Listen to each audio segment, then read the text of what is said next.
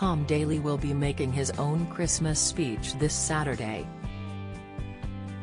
Giving the Queen a run for her money, the Olympian will be broadcasting the alternative Christmas message on Channel 4 at 3 p.m., the same time as the Queen will deliver her annual Christmas speech via other major broadcasters.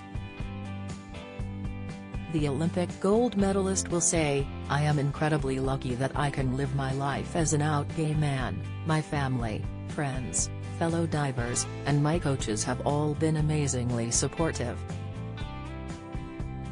Mostly they don't care, because it doesn't change who I am to them. I'm deliberately myself and this is just extra info. So what, who cares who's gay anymore, right? Tom Daley came out to the world in 2013 via a YouTube video. At the time, he was already in a relationship with the man he would go on to marry, Dustin Lance Black who is Tom Daley's husband.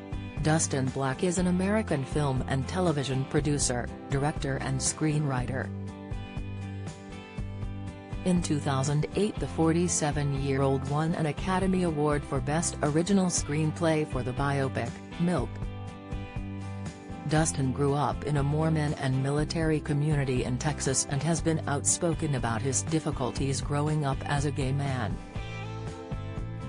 He is a founding board member of the American Foundation for Equal Rights and is a prominent LGBTQ rights activist. Dustin Black's website states that the foundation successfully led the federal cases for marriage equality in California and Virginia, putting an end to California's discriminatory Proposition 8. The pair met at a mutual friend's dinner in Los Angeles in 2013 and began dating soon after. Dustin said in 2016 that when he met his future husband, it was love at first sight.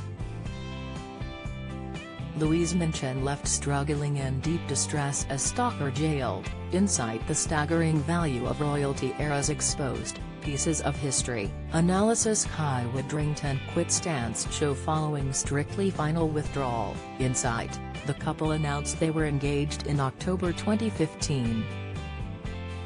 They married in May 2017 in a Shakespeare-themed ceremony at Bovey Castle in Devon.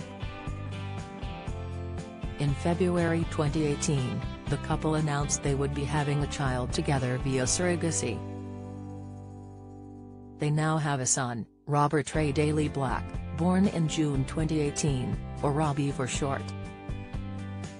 Speaking in November, Tom said, has so amazing.